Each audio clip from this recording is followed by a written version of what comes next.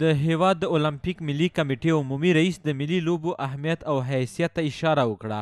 او وویل دوی دغه لوبې په هیواد کې د بېلابېلو ولسونو ترمنځ د ملي یووالي د ټینګښت او له ورزشکارانو څخه د ملاتړ په موخه جوړې کړې دي او دا یې ځکه په بلخ ولایت کې په لاره اچولي چې یاد ولایت د وزلوبې مرکز ګڼل کېږي. بزکشي ټورنمنټ هم ځکه په شمال کې وکړ چې شمال د بزکشي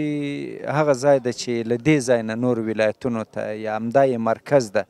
او په دې کې بیا ویل کېږي چې مزار د بزکشي مرکز و نو موږ وغوښتلو چې بزکشي ټورنمنټ به په مزار کې وي او لیګ به په کابل کې وي او په آینده کې موږ غواړو چې د ولایتو په سطح باندې په ولایتونو کې هم دغسې لوبې د بزکشي انشاءالله العزیز جوړې کړو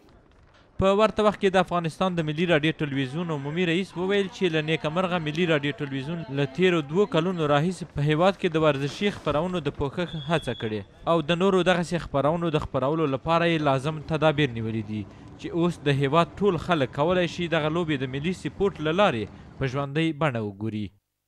ملي تلویزیون هڅه کوي چې د افغانستان ټولې عنعنوي او ملي لوبې په ژوندۍ بڼه باندې تر خپلو هیوادوالو پورې او له هیواد څخه د باندې په نورو نړیوالو د پاره ورسوي د افغانستان لوبې هلته ښکاره کړي. له بلې خوا د هېواد د عنعنوي او کورنیو لوبو عمومي رئیس وايي چې دغه سیالۍ د هېواد د شپاړسو ټیمونو ترمنځ په لاره اچول شوې دي چې تر لسو ورځو به دوام وکړي او ترڅنګ به یې د تیرویشتونکو له خوا هم ځینې نندارې خلکو ته وړاندې شي. تقریبا شپاړس ولایته موږ شامل دي دې هغه دي دې موږ دې تورلمنت دي خو تقریبا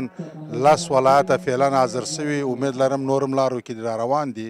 او د جنوبي ولایتونو هم هم نیزه بازان راغلي دي چې هغه هم تقریبا یو نمایشي غوندې مسابقه نه لري نمایشي راغلي دي